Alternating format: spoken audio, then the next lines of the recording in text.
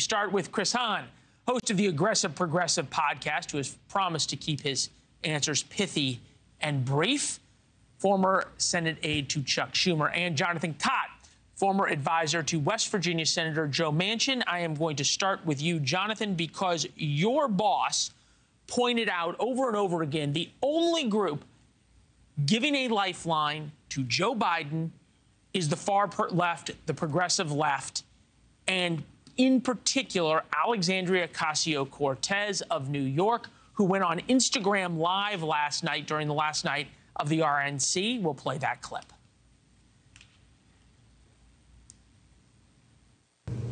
If you think that there is consensus among the people who want Joe Biden to leave, that Kamala, that they will support Kamala, Vice President Harris, you would be mistaken. A lot of them are not just interested in removing the president, they are interested in removing the whole ticket.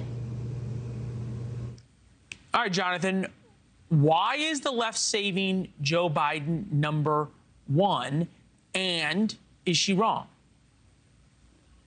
I have no idea what she was trying to say there, but I also often don't know what AOC is trying to say.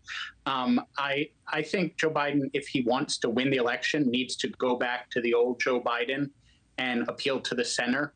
Let's not forget when he ran in the primary in 2020, he was the centrist candidate. He beat Elizabeth Warren, Bernie Sanders, the progressive left because that's where the party is and that's where the country actually is. And that's how he won in 2020. So I think he needs to get back to that. And yes, I, would love for the party to be united and the left and the center and the center right to all be together behind Joe Biden. But he's got to get out there and start making the case about why his policies are better for the country and why the contrast between, yeah, he, he's an older Joe Biden. He's forget, forgetful on some things, but he's not talking about shark attacks and Hannibal Lecter and the crazy meandering, you know, yeah. hour and a half speech that Donald Trump we gave that broke his own his own record yeah. from two, yeah. four years ago is the longest speech ever.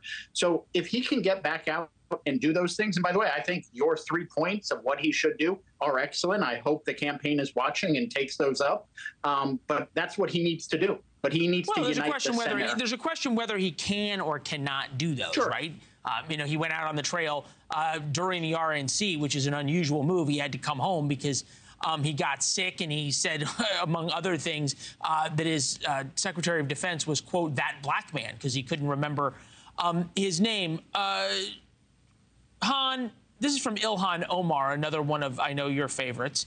I can't tell you how shameful it feels to hear all the leaks about what Democratic leaders are saying and not have a single one of them out here confirming or denying it. It's a lack of leadership. It's making all Democrats look bad. Whatever this mess leads to will not undo the damage that's already been inflicted. May God help us all. Chuck Schumer has a title. It is called the Senate Majority Leader. Why is he not leading? Oh, I don't think having the leaders out front right now pushing the president is going to help. I think that they've got to do that behind the scenes and usher him to the door, and I think that day is coming. and what I if leaders are not out front, AOC where are they? Was, They're supposed to be in. I don't understand. If leaders aren't no, supposed to be out front you, leading, what's the point of being a leader? Only, there is only one. There's only one person who can make this decision, and that's Joe Biden.